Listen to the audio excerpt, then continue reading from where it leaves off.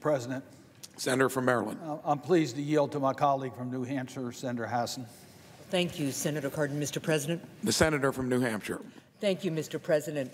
I join with my colleagues here in saying how disappointed I was that today's vote to reopen the government immediately while we keep negotiating to address border sec security was defeated.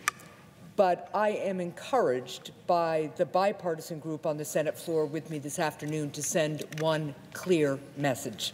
Let's pass a clean, three-week continuing resolution to reopen the government immediately.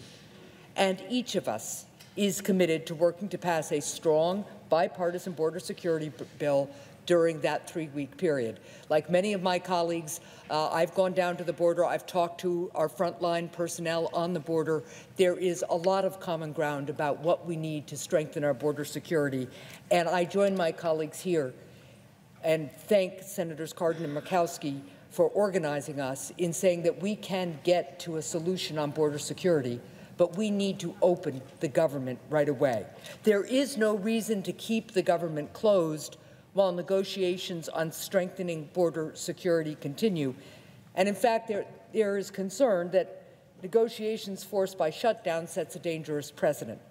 So I strongly urge my colleagues from both parties to support this bipartisan approach. I thank Senators Graham and Cardin, too, for their leadership in this effort, and I'm committed to working with them and the rest of this bipartisan group to find a way forward.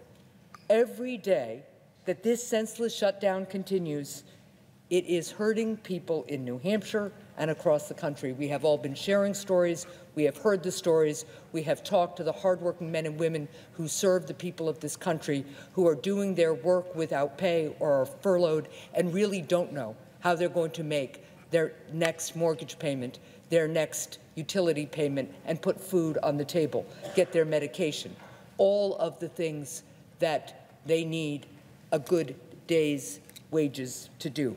So we need to end this now. I join with my colleagues in being here this afternoon to simply say that we need to open the government and that I am committed, as so many, all of us are, to negotiate in good faith going forward to find a solution on border security. Thank you, Mr. President, and I yield the floor.